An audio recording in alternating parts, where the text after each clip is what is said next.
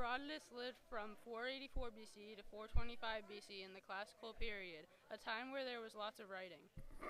He was born in Halicarnassus and later moved to Athens. He moved to Thurii after, he, after where he died. Herodotus was a historian and wrote about events around him and foreign cultures. He was famous for being a historian and traveling the world.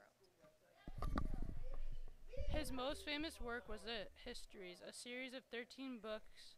They talked about important events that happened in his lifetime, like the Persian War. By reading the histories, we are able to learn a lot of information about the past